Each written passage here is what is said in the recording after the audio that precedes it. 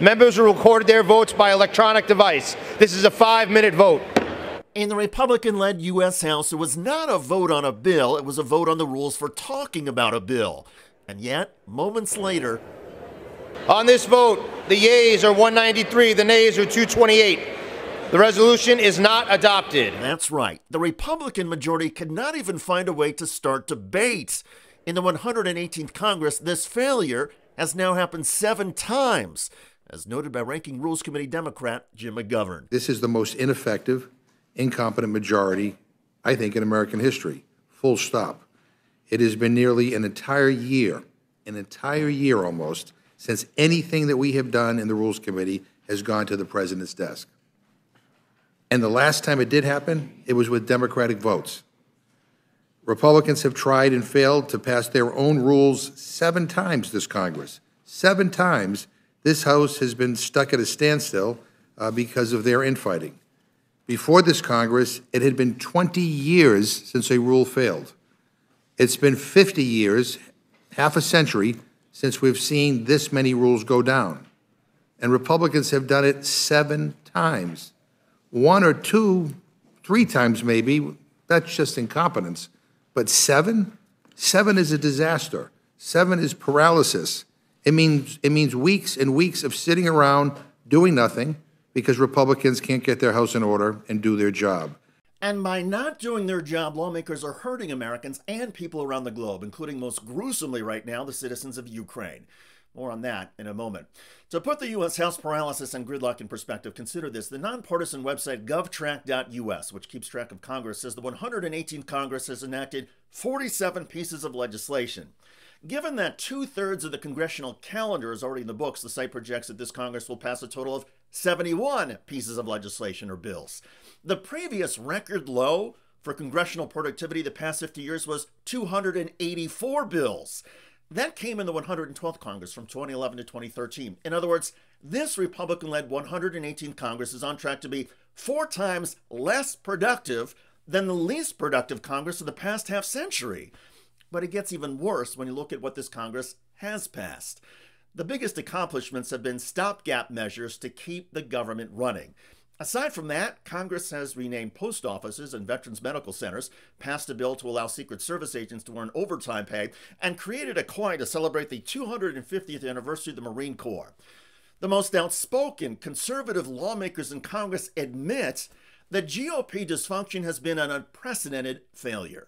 I feel like many of the American people that think that Republicans in Congress completely fail them. I feel the same way, and I'm a, Republican member of Congress. Just months ago, Republican Chip Roy of Texas made the same point. One thing. I want my Republican colleagues to give me one thing, one, that I can go campaign on and say we did. One.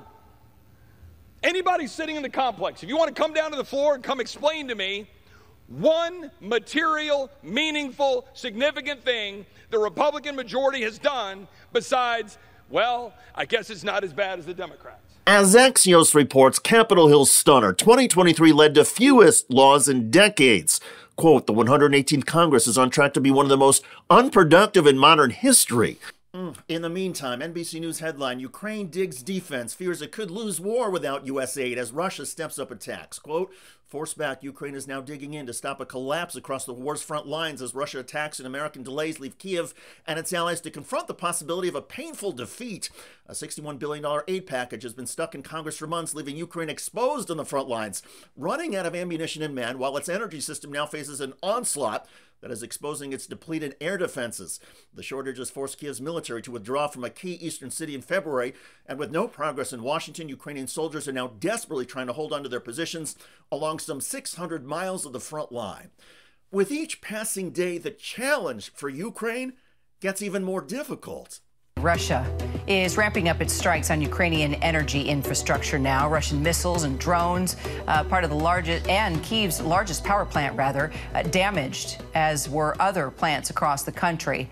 Ukrainian President Volodymyr Zelensky growing desperate now with his calls for more international aid, including from the U.S. Once you start messing with the, electrical grid, once you start messing with the water flow, water treatment, all of that, it, it, it impacts the morale and morale has been high within Ukraine for the last two plus years. They don't seem to have stop in their in their lexicon, but Russia can see the internal debate that's going on in the United States, that's going on within NATO, and they're taking advantage of this by hitting them in a way that they haven't hit them uh, since they invaded. In other words, the U.S. congressional inaction is giving a boost to Russia, which is pounding Ukraine harder than ever. And that means images like this of a top Ukrainian power generating plant on fire after being hit by Russian missiles.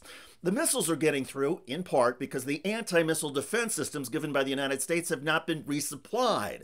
As angry staffer wrote on X, this is on Mike Johnson and the Republican Party. Russia has been almost exclusively targeting critical Ukrainian infrastructure for two weeks, and we could provide the means to stop it.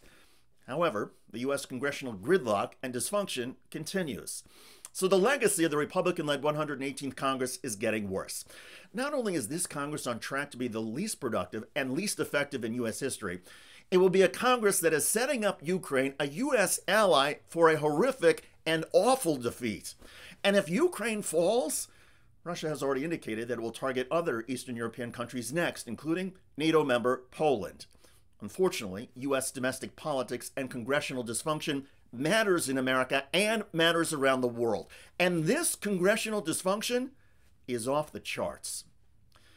By the way, Donald Trump is raging as the conservative Drudge Report hammers him with facts. And the trend lines are all breaking Joe Biden's way. I mean, if you look at the top of Drudge, if you're Trump, you probably would jump off the Brooklyn Bridge. Biden beating Trump in majority of polls. Joe now clear fave in online betting. Trump's first criminal trial set to begin. His CFO sent to Rikers prison.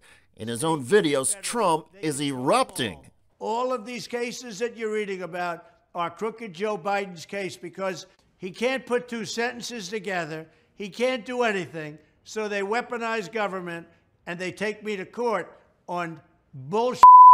So we are going to win we're going to win big. Not according to the latest polls. You see Joe Biden since January eh, within the margin of error, kind of at this at the same spot. If we can look at that first one, there it is. Mm-hmm. Uh, what you also see though on the bottom is erosion for Donald Trump. Crooked Joe Biden, the worst and most corrupt president in the history of the United States by far. The trend lines are, are pretty strong for Biden coming out of the, again, still coming out of the State of the Union. He is a criminal. He is a horrible president. He's the worst president in the history of our country. Mm, check out that video at the link below. It generated a lot of comments on YouTube. One of the most popular is from Brian Ehlenberg, who wrote, Seriously, there's no reason to let anyone that commits treason anywhere but jail, much less on the ballot. I hear you. I look forward to reading your comments about the Republican House getting put on blast for its historic legislative failures. I'm David Shuster. Thanks for joining us.